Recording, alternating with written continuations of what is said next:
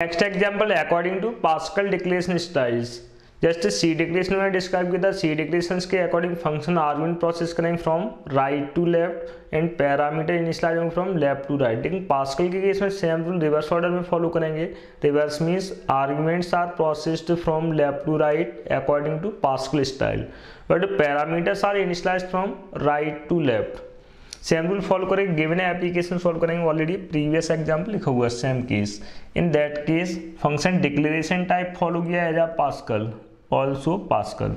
First of all, creating global variable as x with the initial value 10 then output device monitor.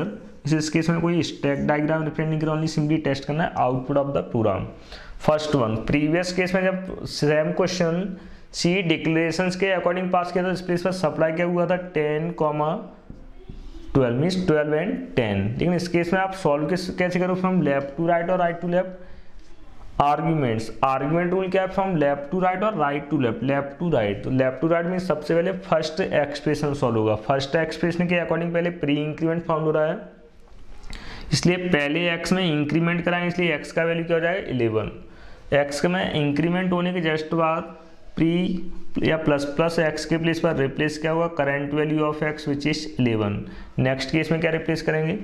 Post increment post है तो पहले replacement replace क्या करेंगे? Current value of x then increment now x becomes twelve इसे x का final value twelve हो चुका, लेकिन पास के हुआ? Eleven eleven first value mean इस केस में जब पैरामीटर इनिशलाइज करेंगे इस केस में पैरामीटर पहले ए में साइन करो या पहले बी में साइन करो सेम रिज़ल्ट आएगा लेकिन ये रूल चेक करना possible just in case of single value और single argument first case A में क्या साइन हो रहा है? इलेवन।